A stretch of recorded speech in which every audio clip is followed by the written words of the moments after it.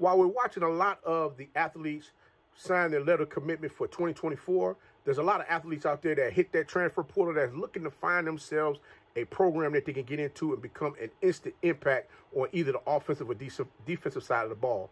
And we already know the Braves love to have young men that can come into their program to shake some things up, to really get defensive coordinators off balance as far as trying to figure out exactly what they're looking to run on offense. One thing for certain is this I believe that this young man is coming into the SWAC is going to be more than able to help the Braves move things in the right direction, especially on the offensive side of the ball, to get things going, to possibly get back to winning the SWAC once again. And we're going to talk about this young man right after this.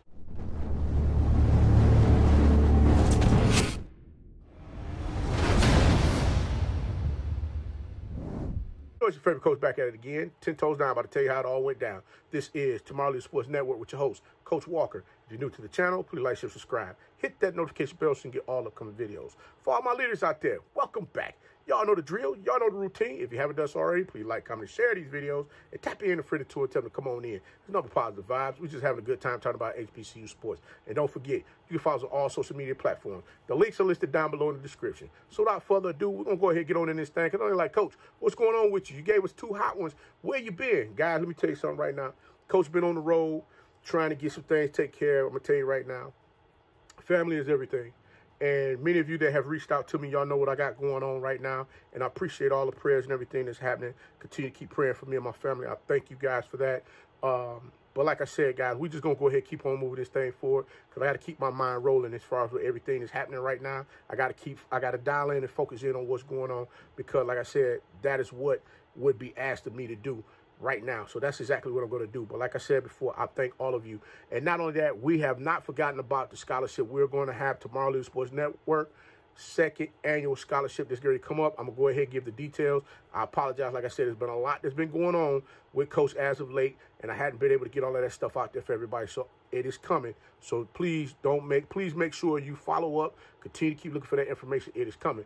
But guys, I'm, I'm gonna say this to you. When I was looking at this young man that's looking to make a move to possibly, well, he made the move. He's coming over to Alcorn State University, and it led me to believe, you know, we all play sports, and we all have those dreams as far as what being able to get out there and showcase our talents. Those that did play on a collegiate level, they want to get out there, showcase that they're able to do what needs to be done as far as playing on that level, and just let everybody know that thing, you know, they, they have that it factor to get out there and really make some things happen. And the funny thing is, this young man is coming into the Braves program will be playing along another athlete that came from another big name school. Y'all do understand that the running back corps for Alcorn State University is going to have a young man that came from Syracuse University and one that played for Michigan State University. While at Michigan State, this young man was a two-way player that can change up the pace of things immediately, especially when you look at, you got Nico Duffy, you got Jarveon Howard, and then you got this young man on the field at the same daggone time. Listen, this young man played 12 games and was third on the team rushing while playing for the Michigan State Spartans. Now, this young man transferred from Michigan State, in which he had he carried the ball 38 times for 118 yards, one touchdown. He also had six receptions for 77 yards.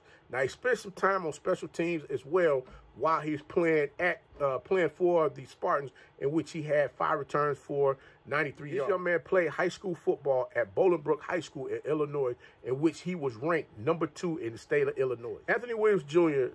last season, while at Akron University, caught four passes for 36 yards.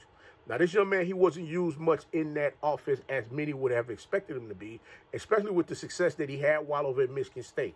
Now, this young man will definitely come into the Braves football program, hopefully with um, Coach McNair and the office coordinator over at over at Alcorn State University will definitely find a way to get this young man out there on the field, especially with Mr. Howard and Nico Duffy being able to stretch that field in a way to where you have defenses that not going to be able to key in on how on those short down and distance um, situations where they're looking to move the ball and get a first down to keep the chains moving and keep that clock rolling so that they can go ahead and continue to hold on to that ball and continue to keep moving it down the field. One thing you got to understand is this.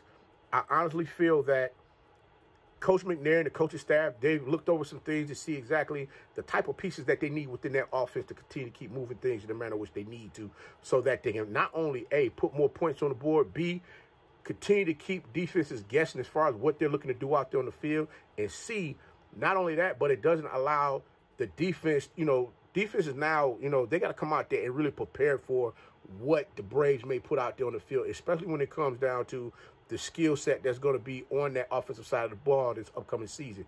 Coach McNair and their offensive coaching staff, I really do believe they're going to find a way to keep defenses guessing all game long. Like I said, this is definitely a ramp up for the Braves as far as with them add additional uh, assets out there on the field as far as playmakers that they will need to continue to keep moving that ball down the field. Once again, I do believe Coach McNair and his offensive coaching staff is going to find a way to put more points up on the board this upcoming season for the Braves. Like I said, to put more pressure on defenses and not just allow people to pin their ears back and just get after them when they're out there on the offensive side.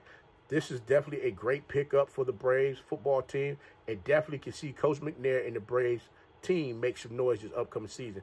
Congratulations to Anthony Williams on bringing your talents to Alcorn State University, and definitely look forward to seeing you do some phenomenal things out there with your Braves football team. But guys, Coach gonna go ahead and get up on out this thing. But until next time, be the one and lead.